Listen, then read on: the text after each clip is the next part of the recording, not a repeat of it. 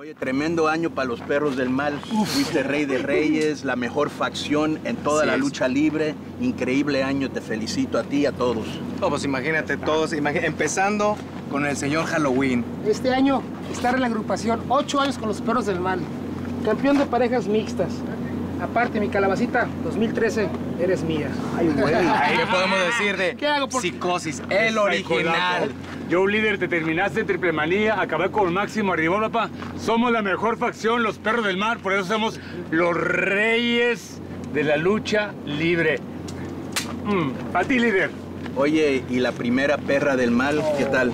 Pues imagínate. ¡Güera loca! Muy loca. Así es, ¿ya ves? Güey, ¿Ya ves? Oye, pero de repente la güera loca se porta mal y la Ah, tienes pero que... hay que controlarla, tú sabes cómo se controla. ¿Cómo se controla eso, papá? La tú sabes, la controladita. tenemos bien controladita. Y luego viene otra perra del mal. Las mejores mujeres, las mejores luchadoras están con los perros y los mejores luchadores los Daga. inter- Pues, ¿Qué te puedo decir?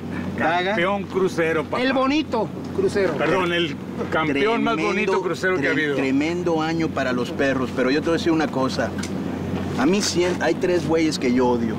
Al ver. vampiro. Qué bueno que Chessman le quitó la cabellera. Porque es nunca quiso exponerla conmigo cuando estamos luchando.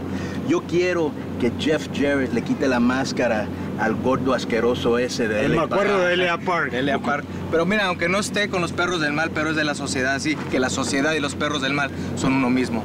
Pero el que más quiero, El número 3. sí, el que más quiero que le quite la cabellera. ¿Quién es el número nunca tres? se ¿Quién es el número tres? Nunca se quiso enfrentar conmigo y ahora anda diciendo que a tu papá lo arrastró. Yo quiero que me enseñe ese video, porque debe ser un sueño. Pero el cibernético. El cibernaco. Mira, para empezar, los mayas se equivocaron. Dijeron que el 2013, el 2012 se iba a acabar el mundo. No.